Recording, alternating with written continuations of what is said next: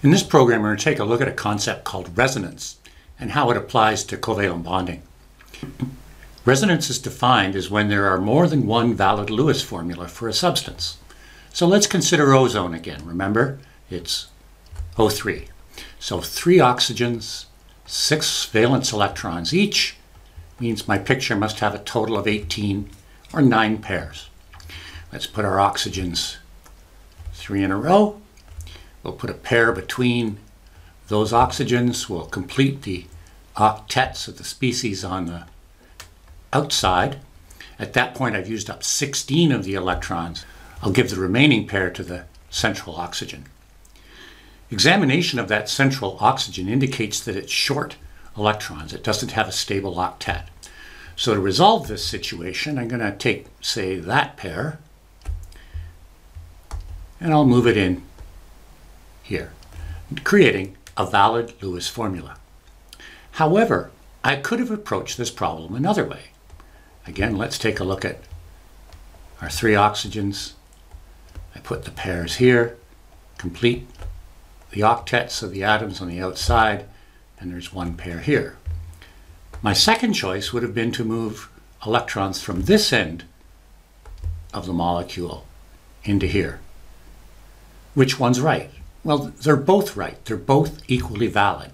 These are considered to be the Lewis formula, or what we call the resonance structures of ozone.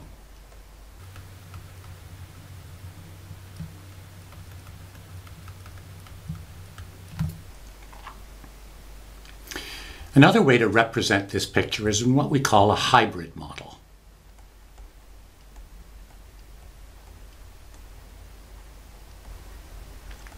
Hybrid refers to mixing. So we could consider to have three oxygens, a single bond, a single bond. And then there are some pairs that were never involved in either of our two options. And we now show sometimes there's a double bond here, and sometimes there's a double bond here.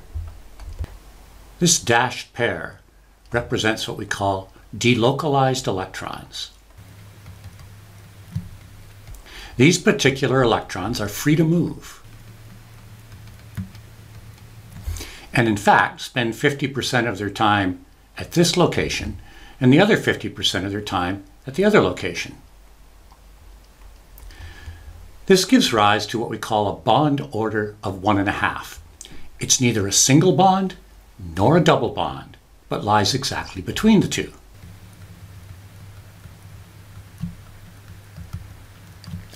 As a result, the properties in terms of length and strength of bond lie between those of a single bond and a double bond.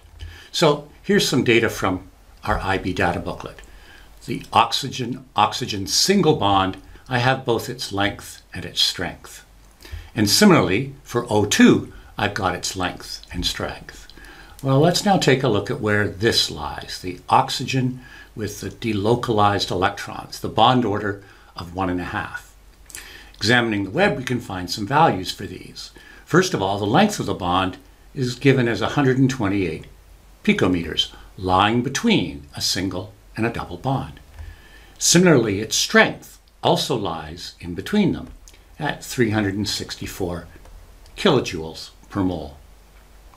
So let's take this idea of resonance structures and see how it applies to the following question.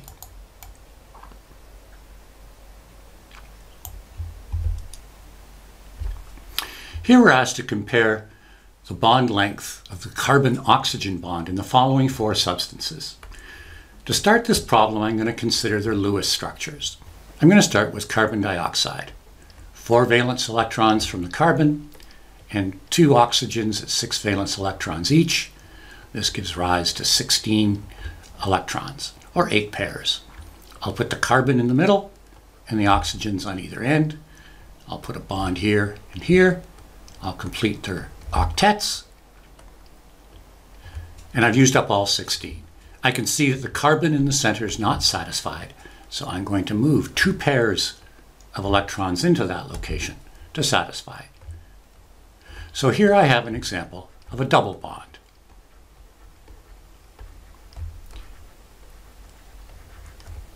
Let's go to carbon monoxide. Four valence electrons from the carbon, six from the oxygen, gives me a total of 10. Carbon, oxygen, I'll put a pair here. I'll complete the octets, and I have one pair left. That uses up all 10 electrons. I can see that the carbon's not satisfied. I'm going to have to move two pair in to satisfy it. So I'll now get that kind of arrangement. So here I have a triple bond.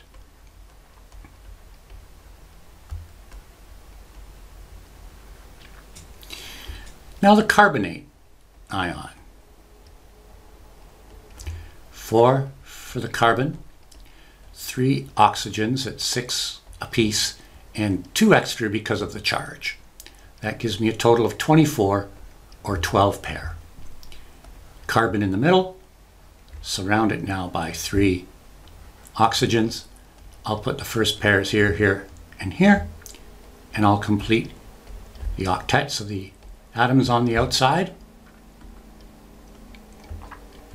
Now I'll put this in square brackets because it is an ion.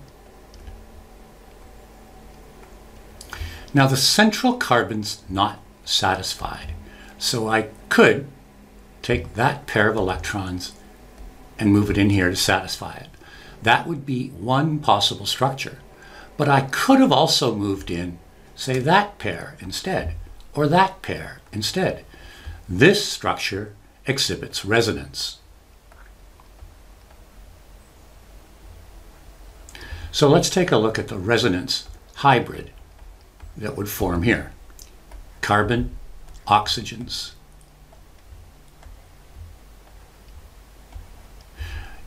The double bond could have existed here, here, or here.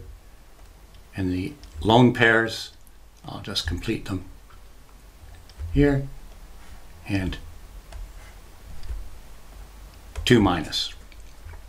So here we have a substance that has got something that lies between a single and a double bond. And in this case, because we could spend 33% or a third of the time here, or 33% of the time here, or 33% here, we would say the bond order here is about 1.3. Meaning the bond is equivalent to sort of like one and a third bonds. And lastly, CH3OH.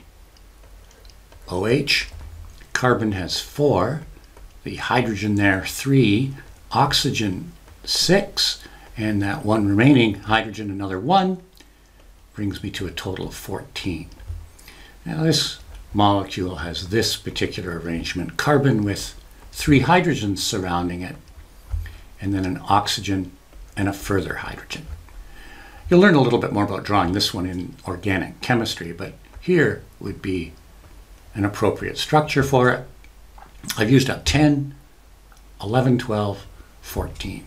So there's the structure for it.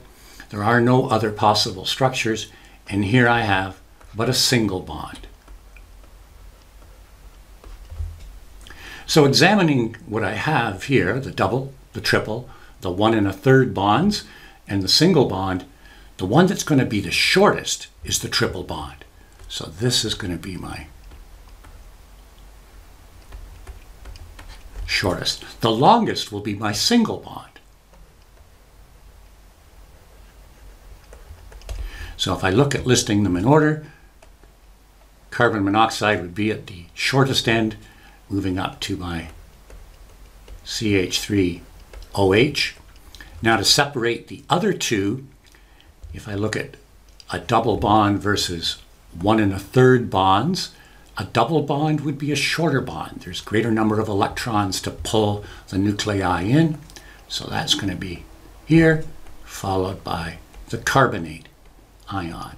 So in terms of length, that's our sequence. So again, resonance occurs when we have equally valid Lewis structures for a particular formula. Thanks for watching.